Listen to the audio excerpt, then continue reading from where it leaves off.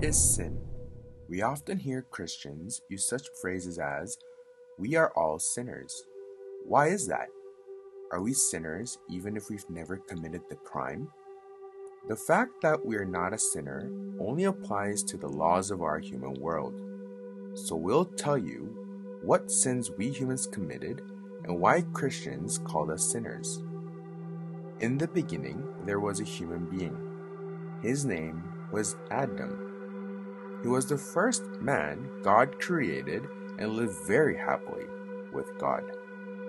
But this man was unfortunately tempted by Satan, and he broke God's law and ate the forbidden fruit. It was because of his desire to be like God, he, as a human, eventually crossed the line that he should not cross. Like this, the relationship between man and God was broken. So we can say those who are far from God live with sin. Therefore, sin entered the world through one man and spread to all mankind. Humans were evil, selfish, and arrogant. We humans tried to be like God and were full of desire, and we became people who took other people's lives for themselves.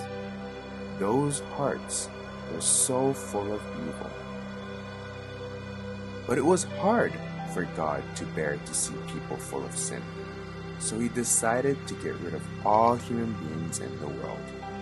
However, there was a man God loved. He was righteous and loved God. So God let him survive the great flood and the history of all mankind is carried on by his descendants.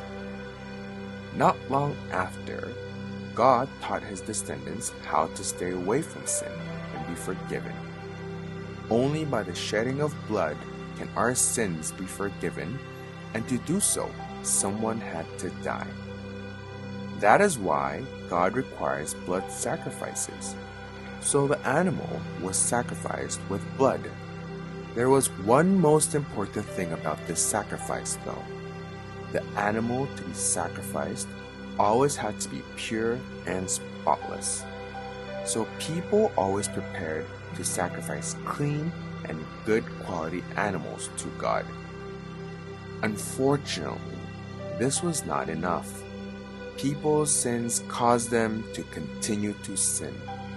Something or someone bigger was needed should be perfectly clean and spotless. But there was no one who would give his life for others.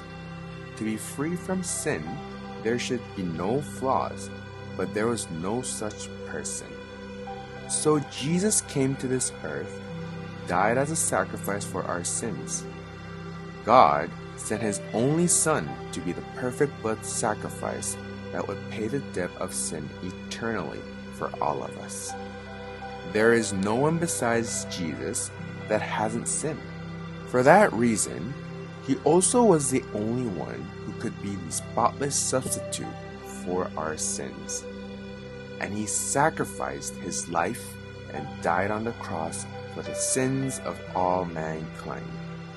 His sacrifice was so beautiful and noble. Through his sacrifice, we all humans are freed from the bondage of eternal sin.